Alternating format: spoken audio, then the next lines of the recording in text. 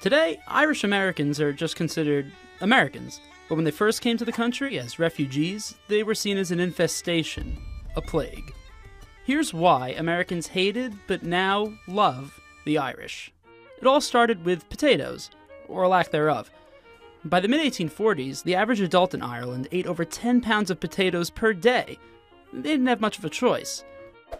After centuries of oppressive British rule, most Irish lived in poverty. Potatoes were easy to grow, packed with nutrition, and, most importantly, cheap.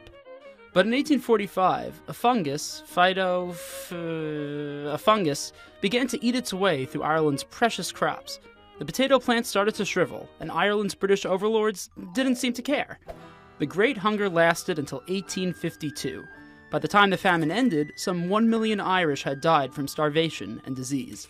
By 1855, nearly 2 million had fled, the majority of them to the United States. The Irish encountered much resistance in the U.S. for several reasons, including religion. Most of the Irish immigrants to the U.S. were Roman Catholic, and there had long been bad blood between Protestants and Catholics. Some Protestants believed this exodus of Irish immigrants was a papal army seeking to overthrow the U.S. government and establish a new Vatican in Cincinnati? Others just worried that these newcomers would take their jobs. As with every wave of new immigrants, most of the Irish who came to the US during this time ended up taking dangerous, low paying work. Irish Catholics also brought their love of the drink. Irish owned pubs popped up across the country, giving the new immigrants a foothold in the economy, but also leading to an ugly stereotype the Irish as job stealing, drunk cretins. Discrimination was rampant. Entire political parties sprung up to fight this perceived Irish menace members of the so called American Party referred to themselves as Know Nothings, because when questioned about their membership, they claimed to know nothing. But they had a very active agenda and vowed to only elect native born Americans. No, not them, just the non Catholic whites. They also started violent riots and picked street fights in Irish Catholic neighborhoods.